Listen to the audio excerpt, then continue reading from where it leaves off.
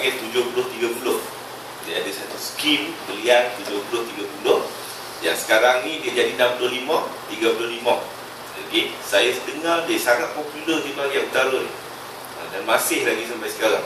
Sampai ada yang duduk dekat Agu Bank duduk terus. Dapat ada orang main Begitu semua beli mah dengan cara seperti ini. Yang kedua hmm, uh, Beli gadai Beli gadai Beli gadai Beli gadai eh? So yang itu yang kedua So risiko yang berlaku adalah Dia beli gadai Beli gadai Beli gadai Lepas tu harga mah turun. Tak naik-naik setahun. Dah jadi kan pun. Ha, Tahun lepas saya cakap boleh jadi Orang tak percaya. Lagi jadilah. Jadi banyaklah emas-emas yang dilelong Lagi. Ha, Banyak emas-emas yang dilelong Jadi kalau tuan-tuan nak beli emas murah Bolehlah kunjungi mana-mana agrobank berhampiran ha, Kau, boleh bid emas murah-murah Baik So tuan-tuan dan puan kalau nak beli emas di Malaysia eh, Ada banyak Ada beberapa uh, tempat boleh beli emas di Malaysia So yang common ya beli emas di kedai emas lah. Ya. Tapi beli emas di kedai emas dia ada satu masalah. Ya. Selain daripada masalah dia kalau dia dibalut ya. Sebagai contoh kalau emas palsu Swiss kalau dibalut pun kita tak boleh buka. Kalau kita buka depa tak mau beli. Tak mau beli semula. Satu. Kedua, harga dia menjual ni sangat mahal. Dia markup harga. Saya pernah baru-baru ni saya pergi kedai emas saya tanya 20 gram emas gold bar eh, empat segi ukuran 20 gram uh, dengan ketulinan 24 karat ataupun 999 dia jual harga 1 gram 200 ya, 1 gram 200 dia tengok comparison dia jual 1 gram 200 RM200 Maknanya kalau saya nak beli 20 gram tu Saya kali 20 gram Saya kena bayar 2000 Eh sorry mak bayar 2,000.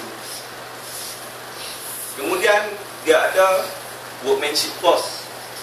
RM130 Okay. Jadi totalnya adalah 4,190. Lepas tu dia nak bagi saya sedap hati sikit. Tak apa, bang. saya bagi diskaun starting. Diskaun starting. Ha, jadinya saya kena bayar RM4,030. Right. So, saya buat comparison. Eh, di public gold, emas yang sama, keturunan yang sama, berat yang sama, dijual pada harga sekarang ni lebih kurang RM3,000 3,550 ada workmanship? RM10 jadi totalnya RM lebih kurang lah. Eh, RM 3,560 Okay, satu. Kemudian ini ini ini harga jual. Ini dia jual. Kemudian saya tanya uh, kalau nak jual semula berapa harga dia beli? Eh.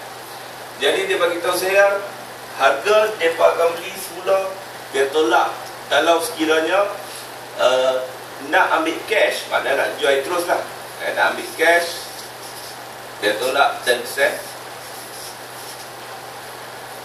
uh, kalau nak trade in dia tolak 9 sen. Tapi 10% 9% ni bukan dia tolak daripada harga ni. Okay. Ini dia panggil harga pasaran. Okay. Dia ada dua harga. Dia pakai dua harga. Satu dia pakai harga pasaran, satu lagi dia panggil harga cost. Harga cost dia tu adalah harga spot. harga world price. Jadi harga ni depa dah markup 25% daripada harga spot. Bila depa beli balik, depa tolak 10% daripada harga spot. Bermakna spreadnya adalah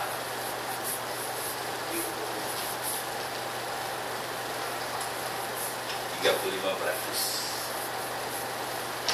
eh sangat tinggi kalau beli emas 100 ribu jual balik boleh 65 ribu lah okay.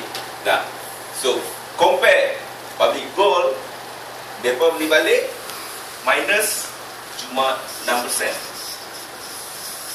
emas yang sama Okey, so ini kelemahan utama beli di kedai emas. Itu yang pertama. Yang kedua, ada pilihan yang kedua. Tuan-tuan boleh beli di bank. Okey. Tapi beli di bank ya, yang yang ada fizikal juga, eh. So kelemahan dia yang pertama payah nak dapat stok. Satu. Yang kedua, sama tak boleh buka plastik ataupun sabun. Jadi kalau tak boleh buka sabun, kita akan menghadapi masalah seolah-olah tak ada beza beli emas legal dengan beli emas dalam bentuk account. Ya, sebab kita tidak boleh menggunakan satu fasiliti keistimewaan arah ini tadi. Okey, jadi je kalau